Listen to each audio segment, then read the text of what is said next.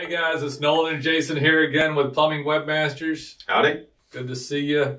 Um, all right, today's topic is something that just came in. We're going to tell a story about a real life thing going on right now, and I've got some stories of my own. But the title of this one is "Updated Google Map Placement for Plumbers."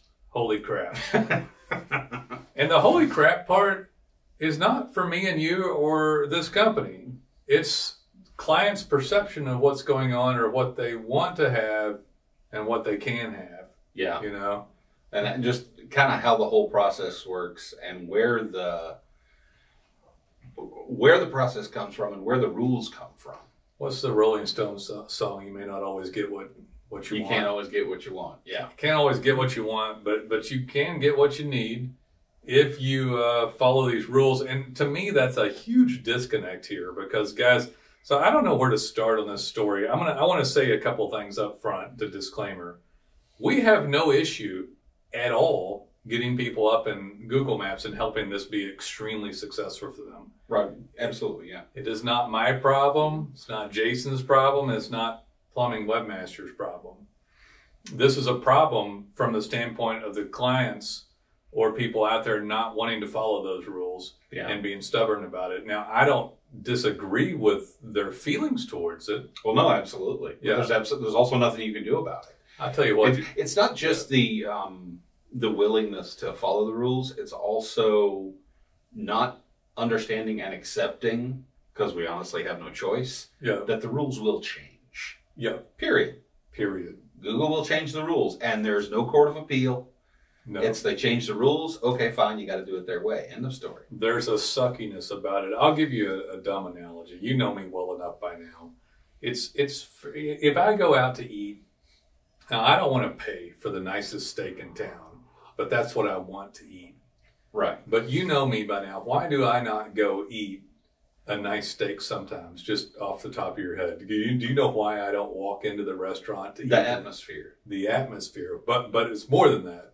Well, it, it's the the that expectation that they have rules. They might have a dress code. They have a dress code. yeah. So I or they, or they have unwritten rules of behavior. They do. Yeah. there, there's tension and other And they'll stuff. give you that snooty look if you break one. That's right. So I have I I, I try to stay chill uh, because I've got too much stress.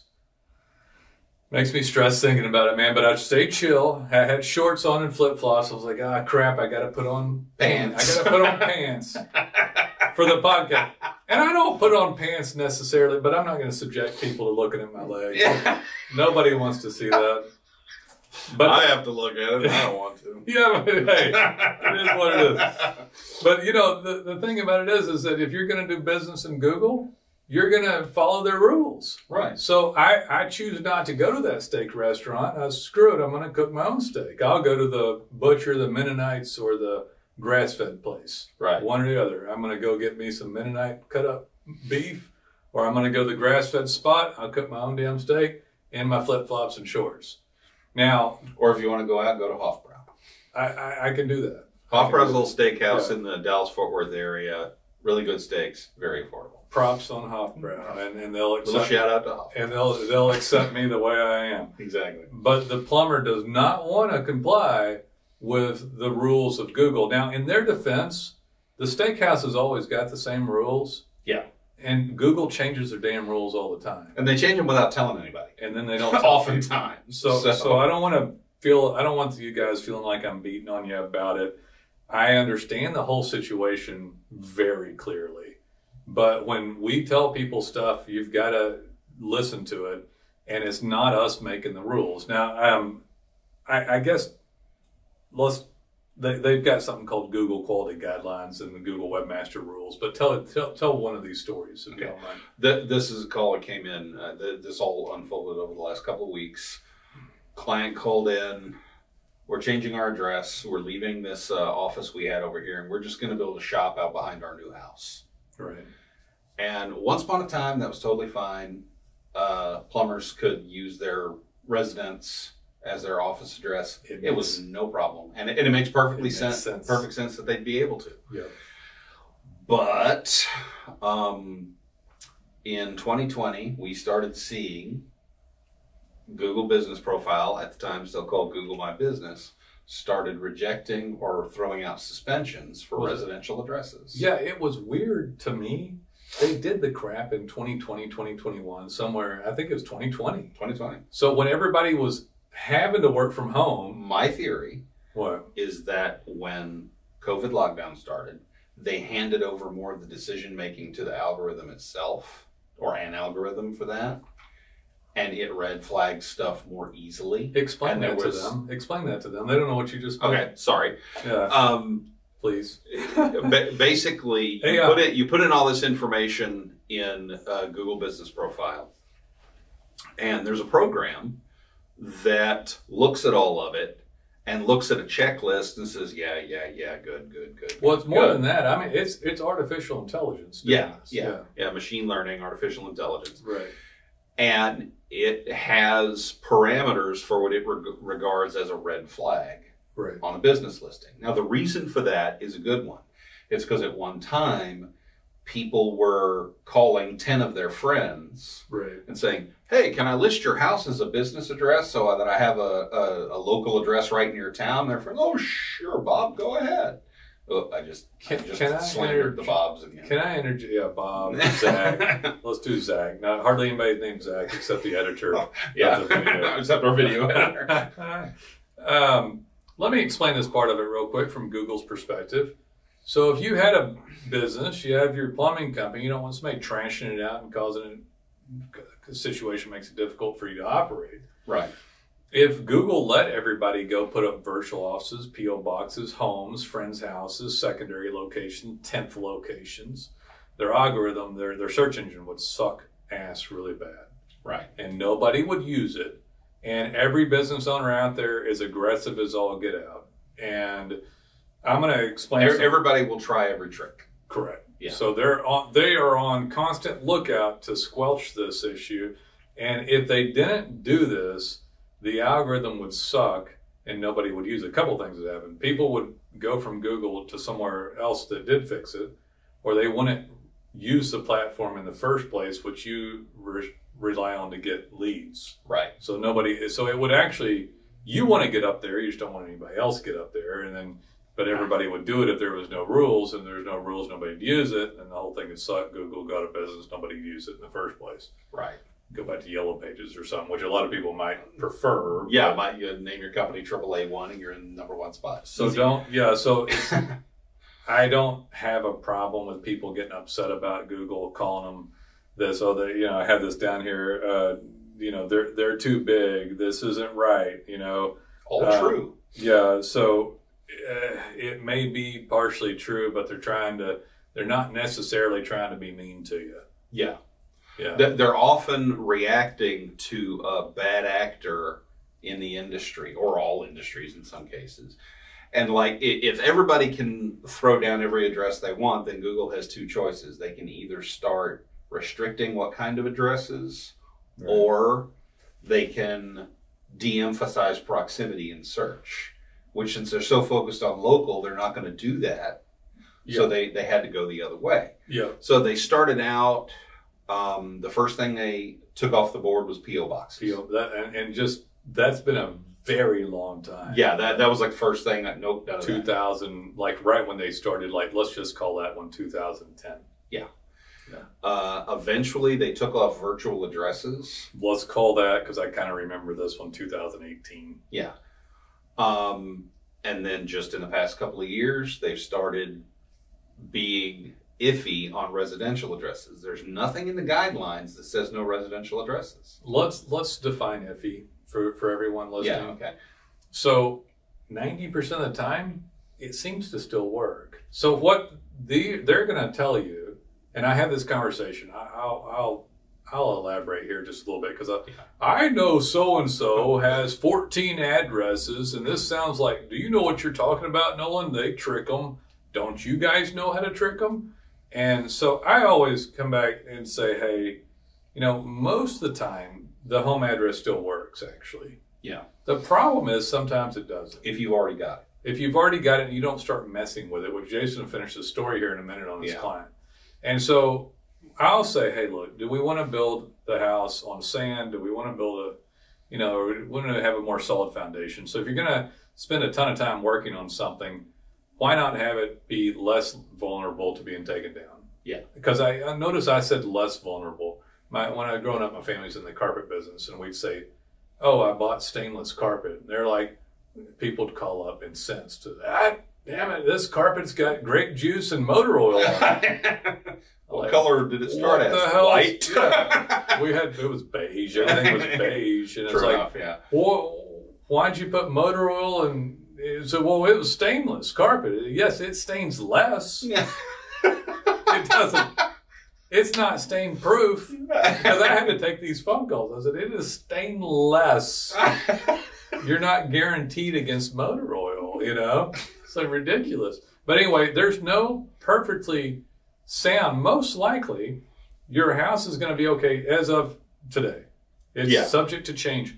Most likely, it won't come down. And if you have a business address that's manned with a decal on the door that looks like a plumber should be in it, then right. it most likely won't ever come down. But there's no hard, fast guarantees because you have AI, you have black hat SEO, client, you know, your competitors turning you in. Which we've, by the way, seen somebody turn in people Mhm. on their Google map and literally lose their map and be banned from Google. Yeah, we, we had a client once. lost his uh, Google business account and uh, you know calls up incensed what what the heck's going on what happened we couldn't figure out what happened his listing didn't have anything in it that should have red blaming it on any- us. yeah blaming it on us Yeah.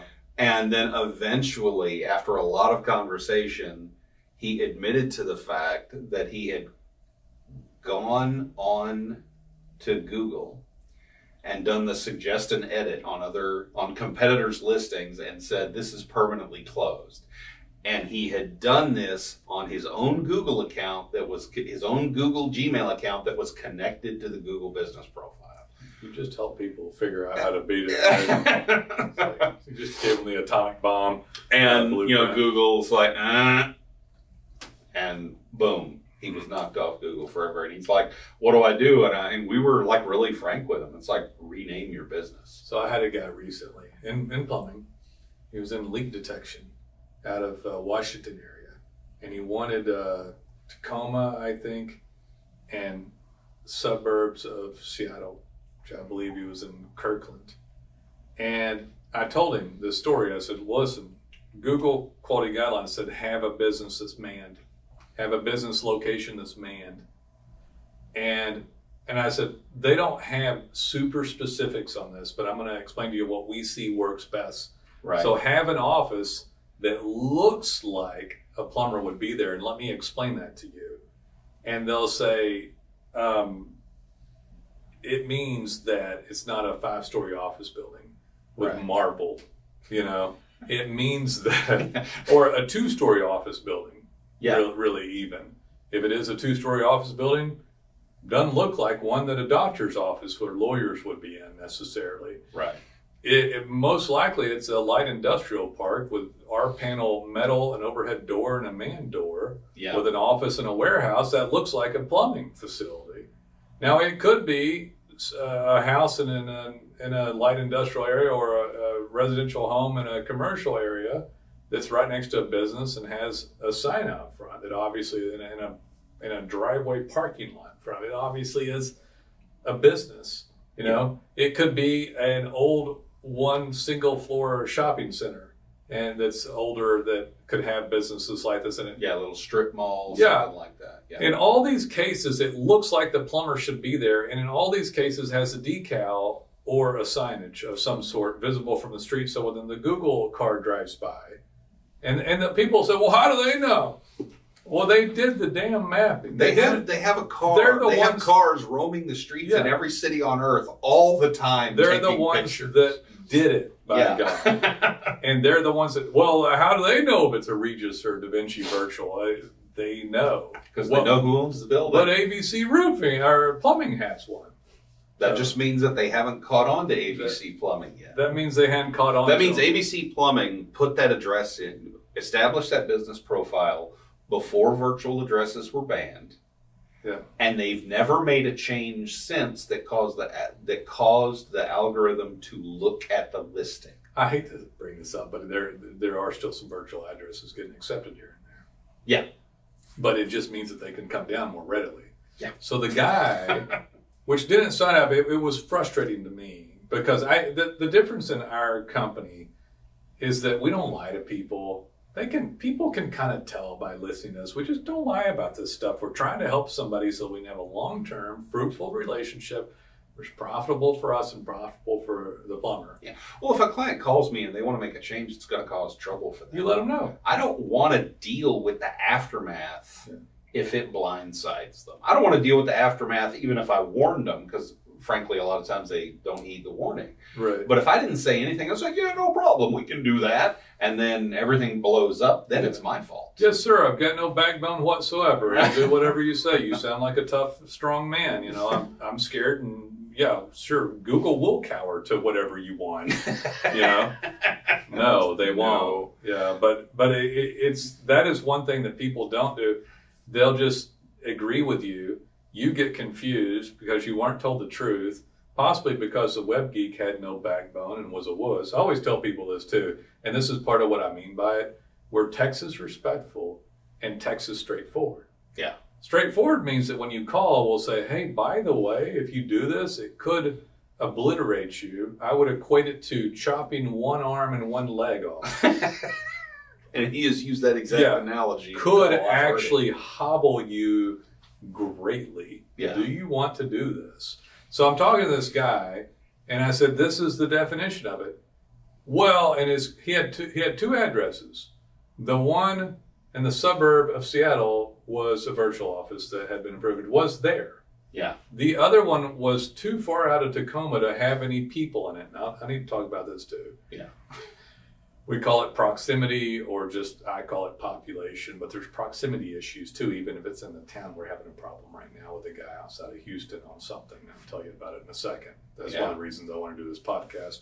So he had the other one, and it was a storage unit where he had an RV and some equipment. He had like two of the big overhead deals, and he's like, Yeah. "Well, I love this place."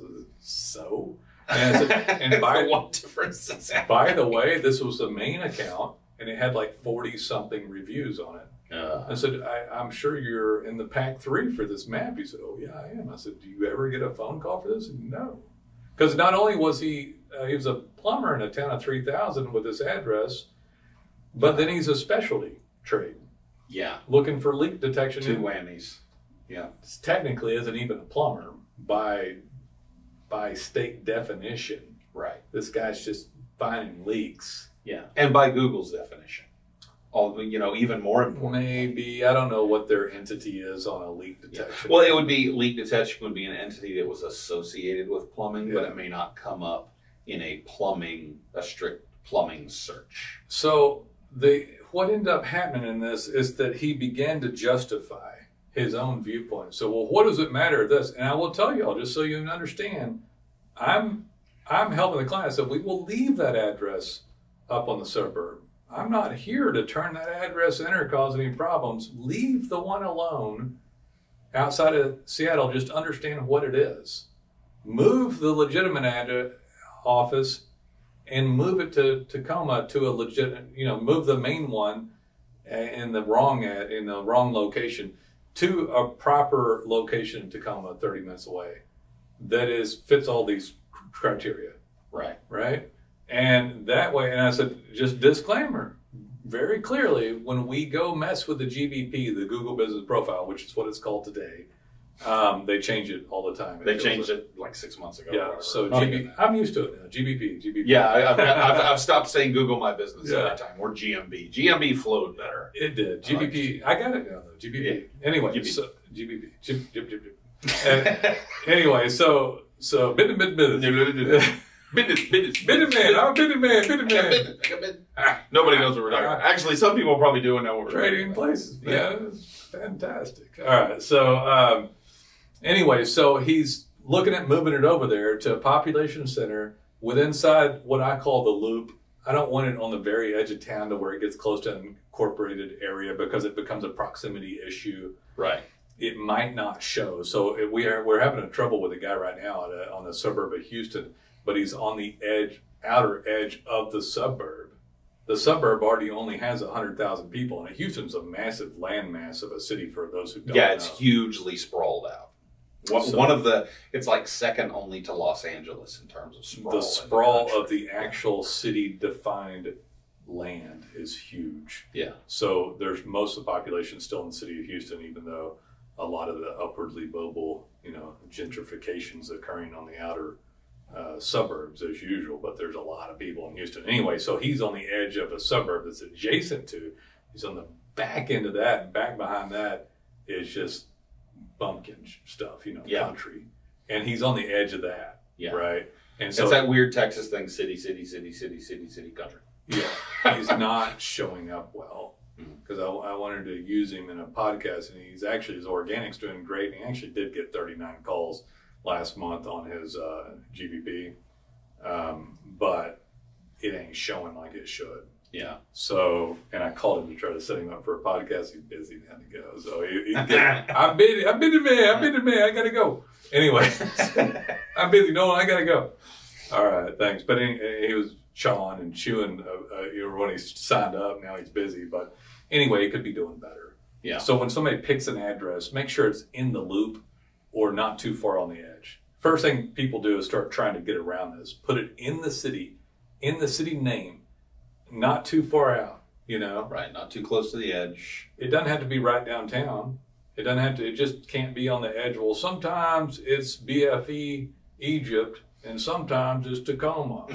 no, no, we don't want BFE. It's supposed. Well, yeah, but BFE's on the edge of Tacoma. It's like, no, BFE don't show up, man. Yeah, the lawyering. The technically, I'm in Tacoma, Yeah, yeah, and it's I'm like not- yes, but Google knows that you're way out on the edge, so they're more likely to show you for the town, th- this edge of Tacoma and the town there, than they are the population center of Tacoma. Right. It, it's maddening for me to have these conversations because they're. I said, do you realize that you're justifying it to me, and it doesn't. Man, I keep telling you the same thing over and over again, and when you make your decision, a very cold, calloused Google is going to lay judgment upon you, Right. and um, A machine a machine. is going to go. Hmm, hmm, hmm, okay, he's over here, so he gets this Yeah. area.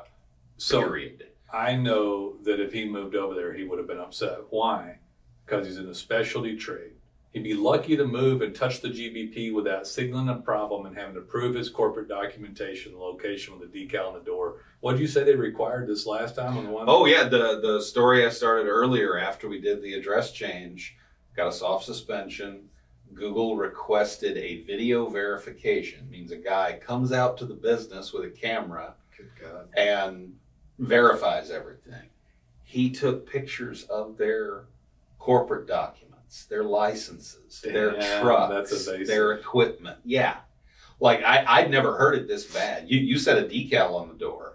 We'd heard cases before where we had someone with a decal on the door and Google sent back, no, we need to see fixed installed outdoor signage. Jesus. Nobody has that? Yeah. And so now, but now they're doing all this other stuff. Hmm. And and part of the reason the client called back a little upset, and they're like, "Why did they come out and do this? Why did y'all have yeah? Why that? did y'all have them do that?" And I'm like, "We didn't have them do that. They told us that they required that. Right. That that was kind of where the story."